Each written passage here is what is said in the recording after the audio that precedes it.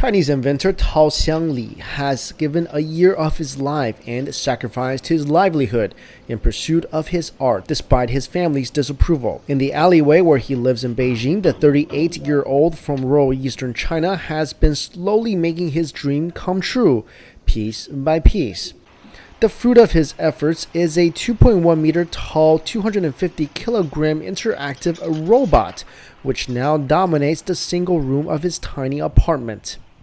The contraction, which he calls the king of innovation, can move its limbs, hands, and head, and follow moving objects with his eyes using around 30 sensors dotted around his body. 然后呃有几千根电线。 It has several thousand electrical wires and over 100 electrical motors, so I estimate that it has tens of thousands of parts. In terms of movement, you can see that its head can move, its hands can move, and each finger and joint can move. In fact, the basic movement of its joints is pretty much the same as a human. It's just not as flexible as a person. The robot is constructed almost entirely out of scraps and second-hand electrical equipment gathered from junk markets over recent years. The head is made from an old People's Liberation Army helmet and fingers from old mechanical chains. As well as grasping simple objects, it can champ its teeth while singing a recording of Korean pop sensation Gangnam Style. It has taken Tao over 11 months to complete and cost him around 300,000 yuan or 50,000 US dollars, including his minimal rent and living costs, a small fortune for a Chinese farmer. None of his family, including his wife and young child back in the countryside, support his project. Uh, I feel very relieved, but also sad. I'm relieved because I have finally finished it, and the process has really been very difficult.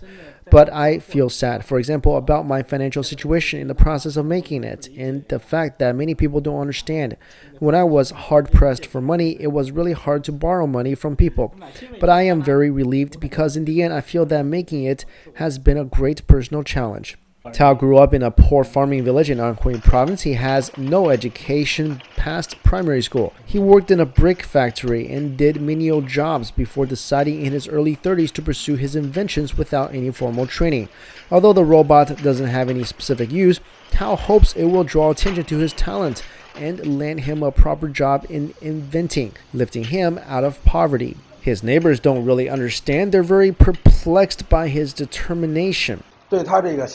We really admire his idea, but we can't understand why he's doing it because he has no job, he makes no money. His ideas might be good, and people might say, wow, this young man is pretty talented. But if he hasn't got any money and still keeps on doing it, most families won't be able to accept it. Here's one thing Tao hasn't thought of before he brings his enormous robot to a wider audience, he may first have to find a way to get it out of the front door.